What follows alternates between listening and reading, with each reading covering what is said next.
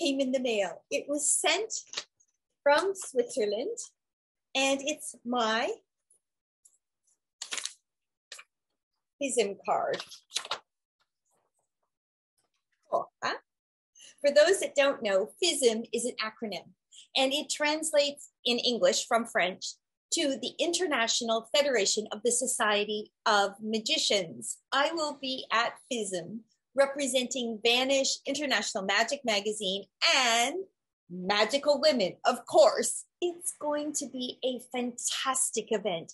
If you enjoy magic, this is your chance in North America to see the best in the world perform, lecture, and interact. Now let's enjoy the World Championships of Magic first place manipulation winner, Juliana Chen. At the World Championship of Magic in Germany, for the first time in history, a woman was crowned as the world champion of magical manipulation. She's beautiful, she's mysterious, she's from China, and she's here now. Let's welcome Juliana Chen.